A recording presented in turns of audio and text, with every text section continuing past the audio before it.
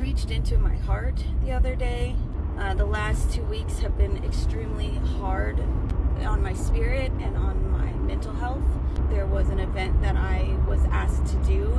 The prior event that I did that was similar was where I had to deal with uh, a battle against an enemy who was trying their hardest to turn as many people against me as they could and I had just started up my business and so when that happened it just it shut everything down and it was so discouraging. I overcame everything through the grace of God. And he he guided me on what I'm supposed to do now because one thing that I'm still understanding with my relationship with God and with with Jesus and his sacrifice is that when God created us, he created us to be beings of love and to love him um, naturally without it being forced and by giving us free will and then by sin being introduced into our world, he realized that we don't do that naturally. It actually takes a choice and it takes discipline and and in his heart that's better because then those who do choose him, he knows us by our names. He knows who we are. He knows our hearts and he calls on us and he's with us because of that. So this next event came, I ended up getting a lot of calls from a restricted number and most of them I ignored, but they were becoming so annoying that I answered. And when I answered, it was just somebody saying, you know, we know where you're going to be. We know what you're trying to do. Don't. And if you do, and we'll find you. It was very just, just gave me really bad feelings and it just took me back to the place where when I was going through the hardest time with that enemy, she sent so many people, showed up at my work, just standing outside the door and I had no team, so it was just me, so that it was super intimidating to just have somebody just staring at me. Sent people to message me, uh, tried to get the police to arrest me when I wasn't becoming intimidated, and then did the restraining order. So all of those things may seem easy for some people to deal with, but I'm not that strong. I'm not, and it broke me severely. And then being re-triggered for that moment once another opportunity came up was just terrible. And I got to a place where I just didn't see any value in myself. I didn't know why I'm here, why I'm trying to do anything, and I've just gotten on medication that is stabilizing my brain, but in the process of doing that, it's putting it through hell pretty much.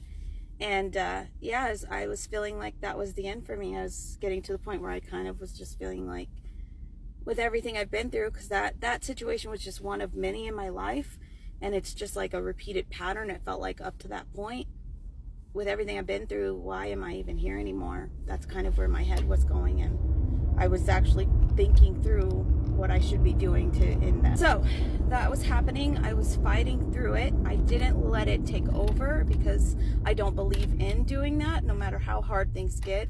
I do believe that my life is precious. I was put here for a reason. I have gifts and I'm blessed and I have blessings and I can be thankful in the midst of this pain and so that's kind of what I poured my heart into. And I fell to my knees and I, I prayed to God and I said, help me. And what he showed me was stuff that I didn't even realize that I needed to be aware of, such as with my business being that I wanted him as, as the foundation.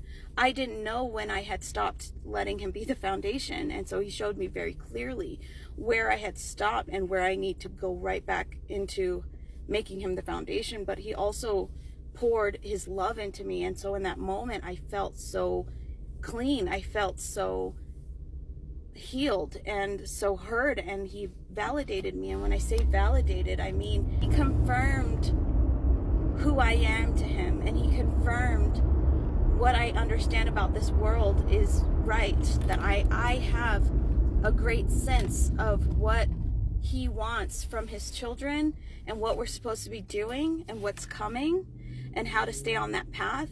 He is firm. He was not happy with some of the choices I've made, but it didn't make him disown me. It just made him want to hold on to me tighter.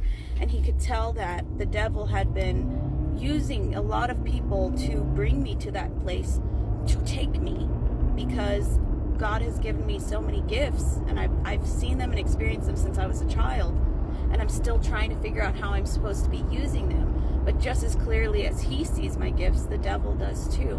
And so He just spoke into me and told me how strong He has made me and that I don't have to worry anymore because He's going to be with me the entire time. I am to obey Him and I am to obey the man that He placed in my life and to trust that things will be taken care of for me and my family.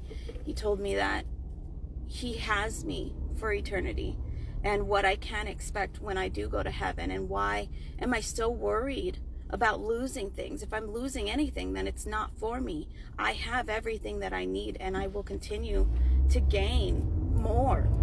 And he just reminded me that these gifts that I have are going to get stronger and I'm going to be able to reach people and give his messages to people that won't be able to hear it from church, that won't be able to hear it from traditional Christians, but will hear it because he's going to use me to reach them. And that was just really beautiful. And I just wanted to share that with you guys that God loves us all so much. He finds us where we are.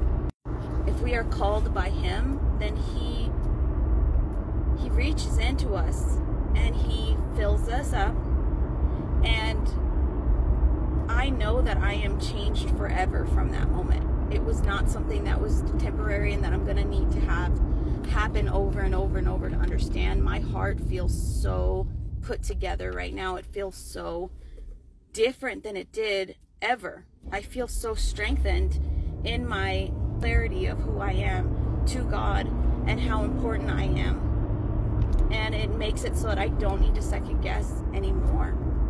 I'm going to follow it and I'm going to see the results that will come from being that way and then putting all of my trust in Him. And so I'm just really thankful for that moment and for what's coming next.